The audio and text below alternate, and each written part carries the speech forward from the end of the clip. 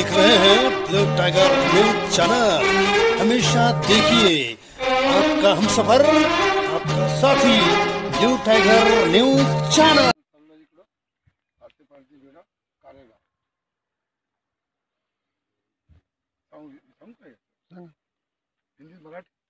Hindi. सप्रेम जय भीम।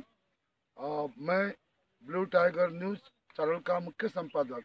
आड़कोट सुधीरेश तायडे और देखिए हम लोग अभी यवतमाल डिस्ट्रिक्ट में है यवतमाल ज़िले में आर्नी तहसील में अ, अंजी के आगे एक कारेगांव करके जंगल बस्ती है। वहाँ पर घुमंतु जनजाति के फांसे पारती जनजाति के लोग पिछले सौ वर्षों से वहाँ वास्तव्य कर रहे हैं। और यहाँ आप देखिए कि इस भारत देश को आज़ादी मिलकर कितने साल हो चुके हैं। 15 अगस्त उन्नीस को आज़ादी मिली है। करीब करीब सत्तर साल से भी ज़्यादा साल हो चुके हैं। यहाँ सांसद है, यहाँ विधायक है, लेकिन आज भी यहाँ कच्ची सड़क है और यहाँ पर आने जाने का यातायात की कोई सुविधा नहीं है। तो हम ब्लू टाइगर न्यूज़ चैनल के माध्यम से यवतमाल ज़िले के जिलाधीश से और आर्नी तहसील के तहसीलदार से और बीएनसी के विभाग के अधीक्षक अभियंता और कार्यकारी अभियंता से हम गुजारिश करते हैं कि ये इस जो कच्चा रास्ता है इसको जल्दी से जल्दी पक्का रास्ते में तब्दील करने की कोशिश करें और घुमंतु घुमंतु जनजाति जनजाति के जो बेड़े के लोग जाते हैं उनके सुविधा करें। चलिए मेरे साथ में। हाँ। आपका शुभ नाम बोलिए। आपका नाम बोलिए। ताराचंद। पूरा नाम बोलिए। पूरा ताराचंद गोसाई कार- कारेगांव पारसी बेड़ा। पारदी बेड़ा आपकी जाति कौन सी है? पारसी है पारसी पारदी है? हाँ। तो अभी इधर आप इस बेड़े में जा रहे हो तो ये अंजी से कितना किलोमीटर होगा? दो किलोमीटर। वो अंजी से डेढ़ किलोमीटर। डेढ़ किलोमीटर है। हाँ। तो ये आपके जो पूरे जो घुमंतु जनजाति के जो फासे पहाड़ी जनजाति के जो लोग हैं हाँ। वो बेड़े के अंदर में कितने वर्षों से रह रहे हैं? बीस साल हो गए। बीस साल से भी ज़्यादा साल हो गए हैं? ज़्यादा होगा ज़्यादा। आपके दादा आपके दादा आपके पिता पिताजी हाँ। वो भी वहीं रहते थे? वहीं रहते थे। उसको तो फिर सौ साल भी बोल सकते हैं आप लोग। हाँ। बीस साल से तो आप रह रहे हैं। बीस साल से ज़्यादा होगा। हाँ पचास साल से। हाँ हाँ हाँ। अभी ये जो बीस साल से खेत बाहर है। खेत की कि हाँ आप लोग सरकारी ज़मीन की वाहिती कर रहे हैं। सरकारी ज़मीन। तो अभी ये जो कच्चा रास्ता है एक डेढ़ किलोमीटर हाँ। तो ये अभी आप लोग हर साल वोटिंग करते हो मतदान करते हो हाँ। आपके बेड़े पर कोई सांसद विधायक आमदार खासदार कभी आया है? बहुत दवाई आए। लेकिन ये कच्चे रास्ते को दुरुस्त नहीं किया अभी तक के। अभी तक नहीं गया कोई भी नहीं सरकार तो ये आपको हमेशा तकलीफ़ होती है बारिश में। बारिश में पूरा कीचड़ रहता है यहाँ पर। रहता है गाड़ी निकलता गाड़ी नहीं निकल सकती। पैदल जाना पड़ता है। पैदल पैदल। रात बेरात में तकलीफ़ होती है। तकलीफ़ होती है। अच्छा। और अभी कोई सरकार ने आपकी तरफ़ ध्यान नहीं दिया? नहीं दिया। अच्छा। और पढ़ने वाले बच्चे या बाजू में स्कूल में जाते हैं? जाते हैं ना। यही रास्ते यही कच्चे रास्ते से। देश रास्ते से नितिन साहब है ना? ऐसा क्या? हाँ। ये कच्चे रास्ते जाते हैं। हाँ।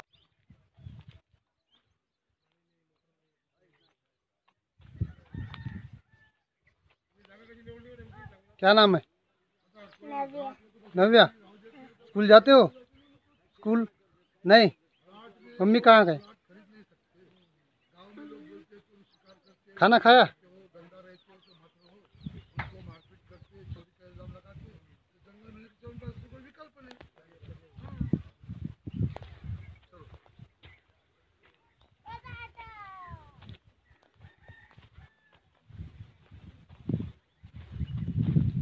हम लोग अभी ब्लू टाइगर न्यूज़ चैनल के जो टीम है हम लोग ताराचंद जी के साथ में हम लोग यहाँ पर कारेगांव के बेड़े में भाषे पारती बेड़े में घूम रहे हैं। और आप देख सकते हो उनके घर की हालत कैसी है। थोड़ा कैमरा मैन दिखा दीजिए। एक भी मकान यहाँ पर पक्का हमको नज़र नहीं आ रहा है। कुछ भी नहीं है। और सारे जो मकान है हाँ। वो टीन के छत से और जंगल के लकड़ियों से मकान बना है। किसी को भी घरकुल के योजना का यहाँ पर लाभ नहीं मिला है। नहीं मिला। और यहाँ पर इलेक्ट्रिक की भी कोई सुविधा नहीं है। ऐसा लकड़ी की पानी की व्यवस्था नहीं है। आपसी आपके गाँव में हैंडपंप है? नहीं है। पानी कुछ भी नहीं। पानी की भी व्यवस्था नहीं है। हाँ। आप देखिए हमको ऐसा लगता है कि हम लोग हज़ार वर्ष के पहले आदिम युग में ये क्या लोग जी रहे हैं और इनके साथ में क्या ये लोग भारत के नागरिक नहीं है? क्या फांसे पारजी लोग, यहाँ जनजाति के लोग इस देश के नागरिक नहीं है? तो इनके साथ में यहाँ की सरकार, यहाँ का प्रशासन ये भेदभाव क्यों कर रहा है? और भेदभाव का रवैया क्यों अपना रहा है? ये सवाल ये सवाल यहाँ के हर नागरिक के मन में है। हम देखते हैं कि यहाँ बड़े बड़े हम लोग, नागपुर शहर है, मुंबई है पूना है महाराष्ट्र के बड़े बड़े शहर है और भारत के बड़े बड़े शहर है। वहाँ पर बड़े बड़े सीमेंट के बड़े बड़े रोड बन रहे हैं और फोर लेन रोड बन रही है, आठ लेन रोड बन रही है।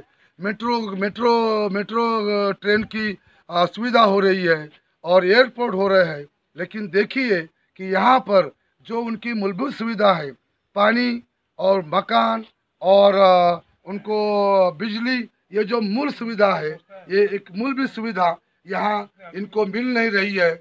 और ये बार बार यवतमाल ज़िले के जिलाधीश के पास जाकर मिलते हैं, तहसीलदार से मिलते हैं, एसडीओ से मिलते हैं।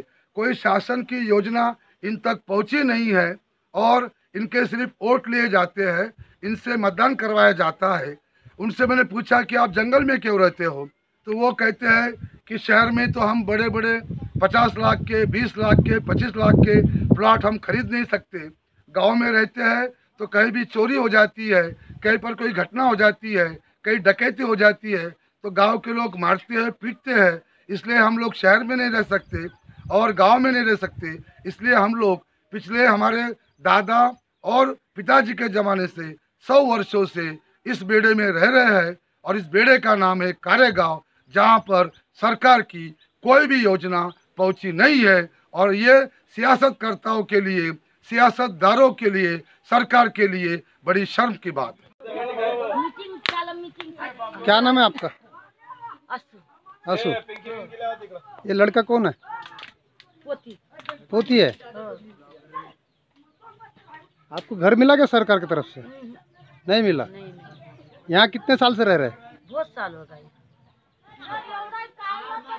ये स्कूल में है क्या रास्ता? हाँ? यहाँ स्कूल वगैरह है? नहीं। नहीं है? रास्ते की व्यवस्था है यहाँ? नहीं है। पानी की व्यवस्था? लाइन वगैरह है क्या? लाइन वगैरह चलाते जाके तार पे। लड़ाई करता। कोई निवेदन वगैरह दिए थे कलेक्टर को? हाँ? कलेक्टर साहब को निवेदन वगैरह दिए थे कोई? कहीं? अर्जी अर्जी दिए थे? हाँ बहुत बार दिए? हाँ। अभी तक कोई कार्रवाई नहीं हुई? कोई कोई नहीं। कितने लोग रहते हैं यहाँ पे? पूरे जितना झोपड़ी है जितना भी लोग रहते हैं।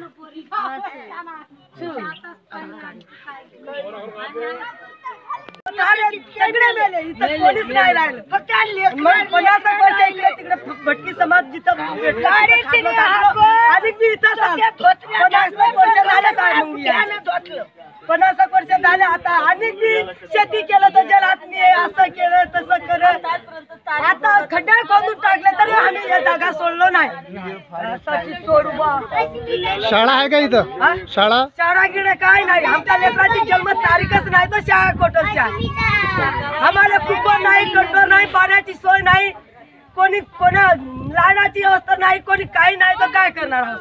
गावाचा सरपंच एकही नाही देत नाही मी म्हणते मरून गेला म्हणते ते. आम्हाला मतदानात जगातच योजना नाही आहे. सरपंच तर मरूनच जाईल आमच्या नावात रस्ता नाही का इकडे? रस्ता? रस्ता काहीच नाही साहेब रोड कच्ची रोड नाही का काहीच नाही. पाण्याची व्यवस्था आहे का? काहीच नाही पाण्याची व्यवस्था नाही काही नाही. पाणी कुठून आणता? इरीचा आणतो साहेब तू चालत्या इरी पड त्या परवाच्या सुरवाती पडलं साहेब पाय माग तुटला बी आता. आम्हाला गावातच जायला लागते गावात पाण्याला. गावातलं आणतो मग उन्हाळ्यात. घरकुल. घरकुल घरकुलाचा पत्ता नाही तर काय आहे? झोपडे आहे झोपडे. यांना तर खायची सोय नाही लागणार राय साहेब. तीन वेळ बियाणं टोपलं तिन्ही वेळ बियाणं गेलं आमचं. आम्ही काय करू सर? आता अजून गेलं आता अनेक मराठी पारे आहे साहेब आमचे लेकरं.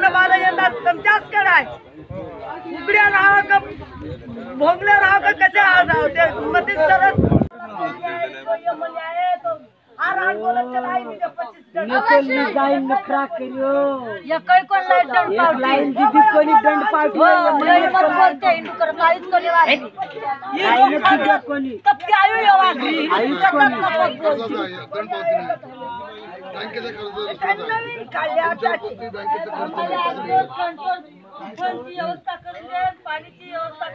घर राहो काही राहो पण पाण्याची पुन्हाची पाया पडतात तुमचे पाण्याची कंट्रोलची लावून द्या मला तुमच्या हात। जोडते एवढे दोन गो- केले? तर तुमचं नाव घेईन जिंदगी कटत आहे. काय करते आरतीले जायचं बाजार करून आणायचं? आठ पंधरा दिवस. पैदल जायला लागते साहेब या रस्त्यानं पैदल. या रस्त्यानं पैदल गेलं तर बोरगाव पर्यंत पैदल जायला लागते. दोन दोन तीन किलोमीटर जायला लागते साहेब आम्हाला. चिखलात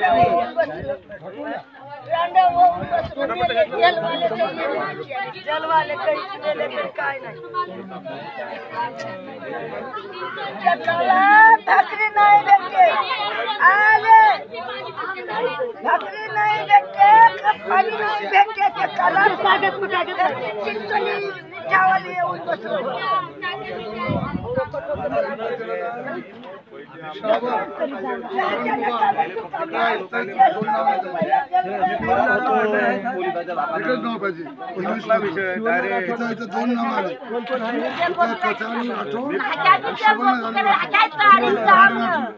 नाव नाही पाहिजे एकच नाव पाहिजे. राठोड कोणता आहे? वर मराठी. खाली कच कचालू आहे.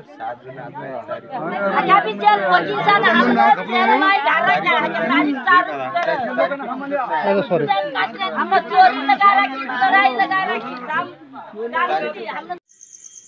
ये गरीबी ये मुफलिसी ये परेशानियाँ कब होगी दूर? हमारे चेहरे पर भी कब आएगा नूर? कुछ इसी तरह की फांसे पर्दे घुमंत जाति के लोगों के जहन में भी यही सवाल उठता होगा। आज़ादी के बहत्तर वर्षों के बाद भी नहीं बदला हमारे जीने का स्तर। आज भी है वैसा हमारा मिट्टी का पुराना घर। मिट्टी के दीवारें वही और छत पे घास है, आज़ाद देश में हम आज भी दास है, आज़ाद देश में हम आज भी दास है।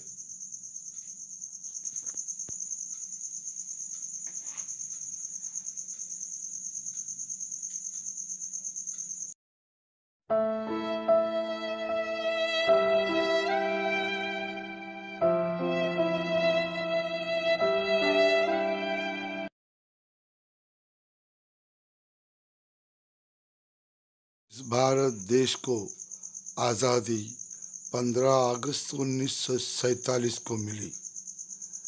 आज़ादी को बहत्तर वर्षों का कार्यकाल हो चुका है, लेकिन आज़ादी के बहत्तर वर्षों के बाद भी फांसे पारदी घुमंतु जनजाति के लोगों के हालात नहीं बदले।